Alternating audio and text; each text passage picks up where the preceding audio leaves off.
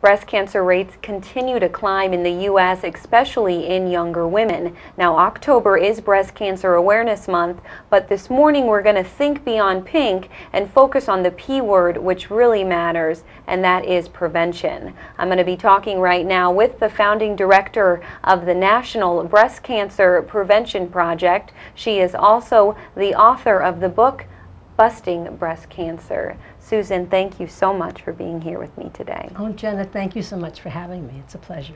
Susan, why did you decide to get so involved in this issue? It's a good question. I, I, guess I've had so many friends who have been touched by breast cancer, a few family members, and I then had a wonderfully very close friend die of breast cancer. And I got really mad. And I said, it's time to figure out what's causing this disease. We must know. There's so much money that's been going into this issue over the years. Um, why are so many women continuing to get it, and why are so many women continuing to die from it? And, uh, and so I decided to take my research skills. I have a PhD in women's studies and graduate degrees in economics and politics. So I thought, let me take these skills of researching and look at the existing research and translate the research into simple steps that you and I, younger women, older women, can take so that we never get breast cancer or we never get it ever or ever again. And Susan, you're all about the prevention. So you've you've taken your research and now you've you've found steps that we can start doing today. That's right. Younger women.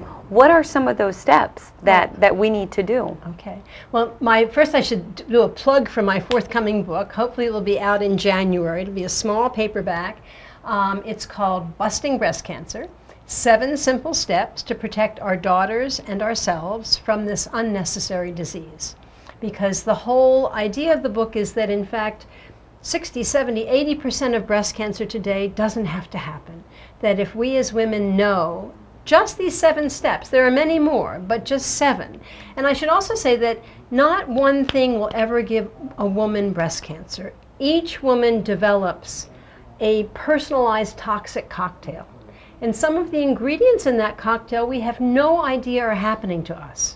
Um, and so it's not as if um, we can prevent all of the toxins from happening to us, but we can certainly prevent a lot of them. So one of the major ones, probably the easiest, Jenna, is for every woman to know what her vitamin D3 blood level is. And D3 is uh, actually a hormone that we make from the sun. Um, but we can also, if we don't get a lot of sun up north, et cetera, we can also take supplements to get it. And a blood test is not that expensive. Normally, people will have, can ask for a vitamin D3 blood test when they have their annual physical. And the research just in the last two or three years is telling us if our, our blood level is at 50 to 80 or 50 to 90, it's nanograms per milliliter. It's a little amount in our blood, but if it's at 50 or above, we are quite protected from ever developing breast tumors, prostate tumors for men as well as colon tumors. But in this case, we want to avoid breast cancer. We want to have a 50 to 80 or 50 to 90 um, blood level. Well, that's definitely simple enough. That's something we can start start right now. And and I know another one of your main steps, Susan, that we can start doing right now is getting off birth control. That's something you you've written a lot about. Yes, yes. In fact, I have uh, an ebook if people are interested in learning more than they ever might have wanted to know about the connections between birth control drugs, and these are progestin-based drugs, and breast cancer. You can go to uh, Amazon.com right now or at Barnes and Noble, and for $3.99 you can get for your Kindle, your Nook, um, your iPad, uh, you can read. It's called "Busting Breast Cancer: Birth Control Drugs," and you can read all of the research and um, and what exactly is happening. But apparently there is an ingredient in birth control drugs, in a few of the fertility drugs, and in the hormone replacement drug that women, many women used to take, fewer women now take it,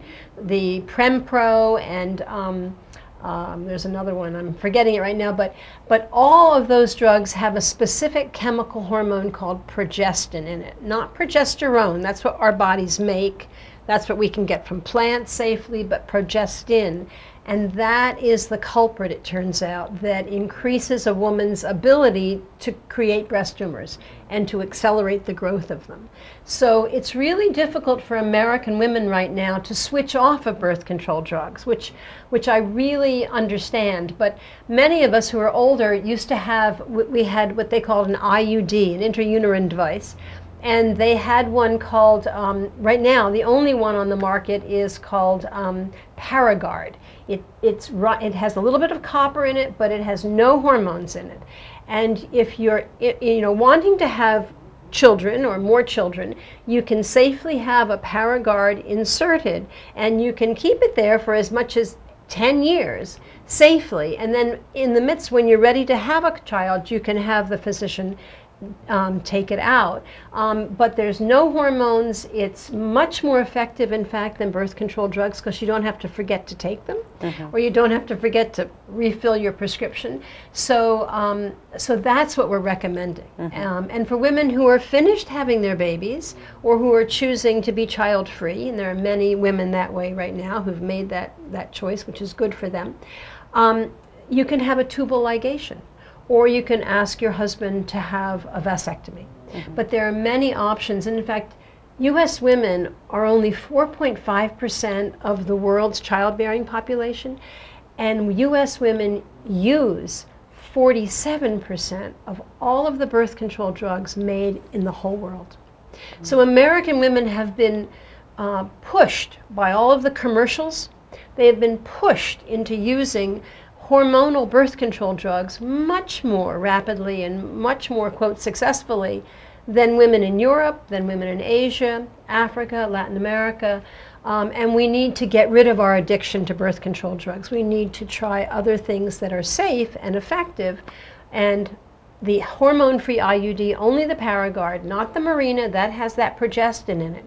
There is an IUD called a Mirena, and you don't want that. You want the Paragard, and you also want to have a tubal ligation if you're finished having children.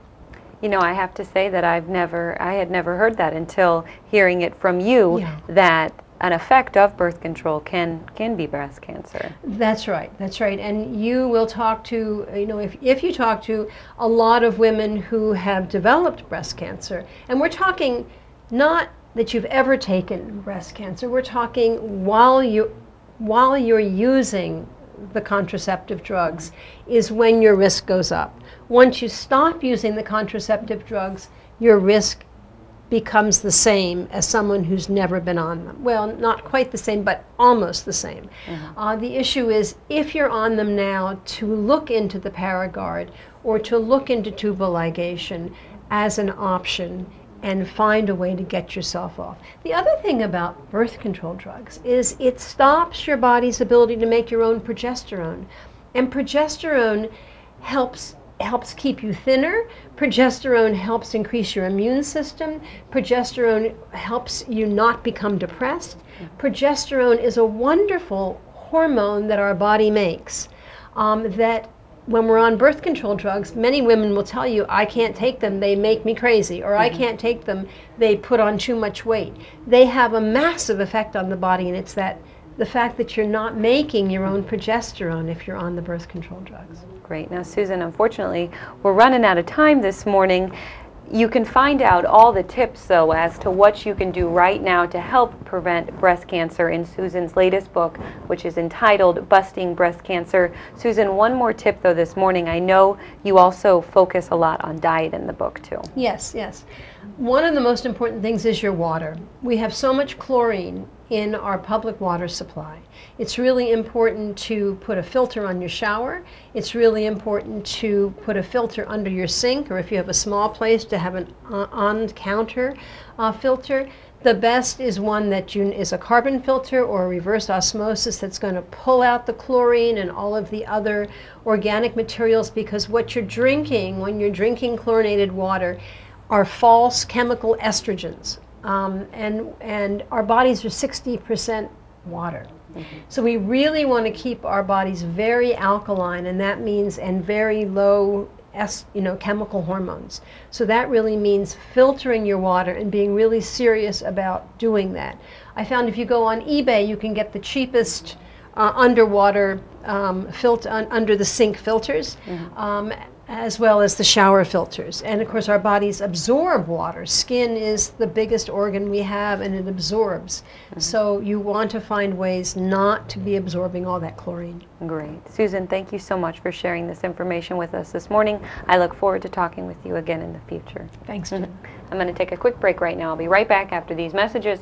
More to come. Stay with me.